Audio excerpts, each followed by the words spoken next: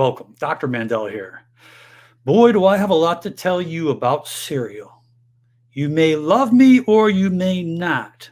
Just kidding. The information I'm going to share with you is really going to help you, your loved ones, spread the word. Please listen to the end if all possible. There are three things that cereal does to us. Number one, it promotes fast carbohydrate metabolism. So that means when we eat cereal, our glucose levels spike up and then they fall down. But what happens is those carbs, which are mostly in cereals, you'll be surprised, which I'll show you in just a, a minute or so. All those excessive carbs and sugars gets converted into glucose. And glucose will obviously try to get into the cells or try to burn right away or if it can't get into the cells and be stored as glycogen, it's going to get stored as fat. So if we are sedentary, we're spending lots of time sitting down and we're eating lots of carbs, they got to go somewhere.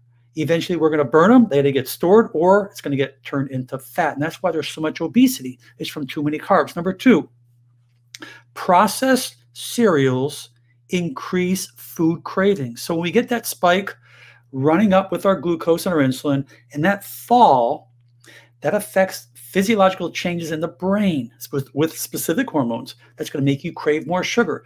Now, most cereals have many servings in it. So we're eating a quarter of the cereal box, half of the cereal box. Or you may be waking up in the middle of the night uh, or just, you know, just want to crave as a snack, but you're eating much more than one serving. So when you look at one servings, you got to multiply that by two or three or four by the amount of calories you're eating, those sugars. And three, Cereals, most of them lack fat and proteins, particularly healthy ones. And a little tip while I'm on that is that there are things that you can do. Number one, which I'm going to show you uh, what cereals look like, and I'll explain a little bit more so I can educate you. But there are things you can add, like eggs are excellent for breakfast.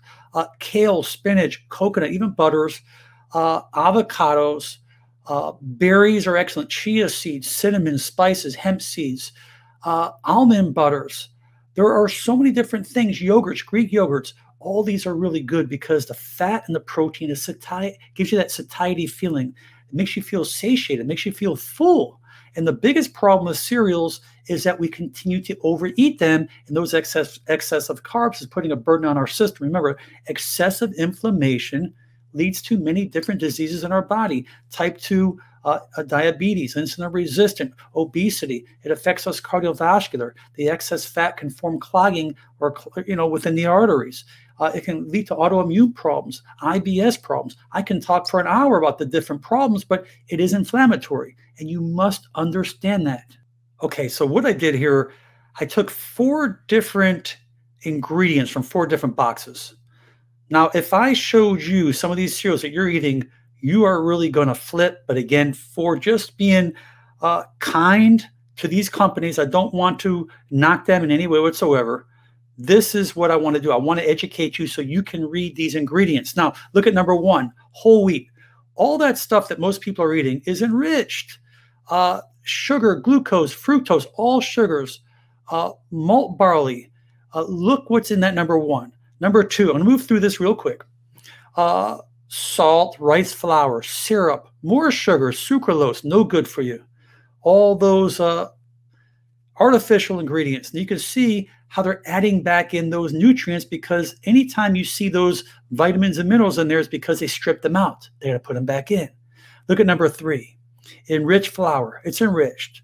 Uh, this is how the majority of the, the, the cereals are out there, just like this. Corn syrup, sugar, sugar, uh, corn syrup solids, dextrose, more sugar, high fructose, more sugar.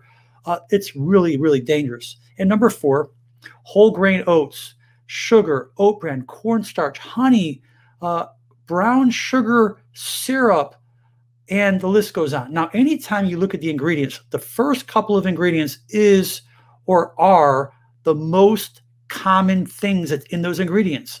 So if you see sugar at the beginning, of the ingredients, you know it is quite dangerous and it's loaded with sugar.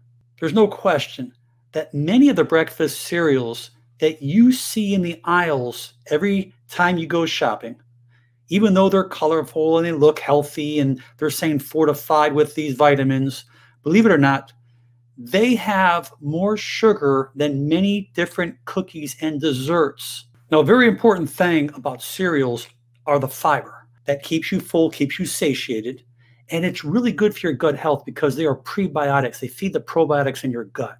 So when you're having excessive sugars, they're feeding the bad, the poor bacteria in your gut, which can lead to like candida, people who have uh, yeast infections, particularly females.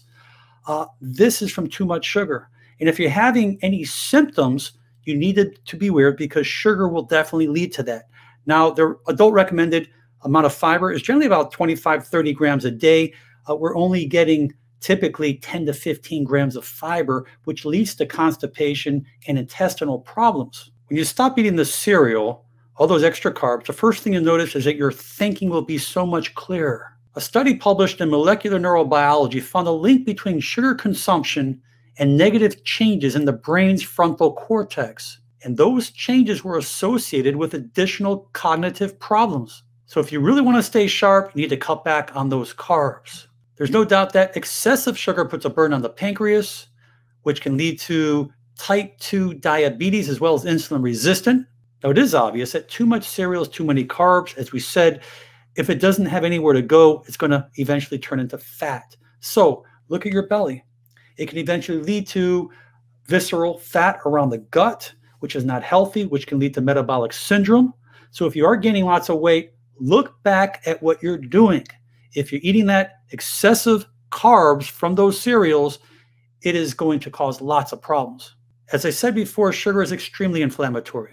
And this inflammation shows a direct link to skin conditions like acne, pimples, rashes, or even blemishes. Now, your gut, a big part of the microbiome in your body, affects your immune system.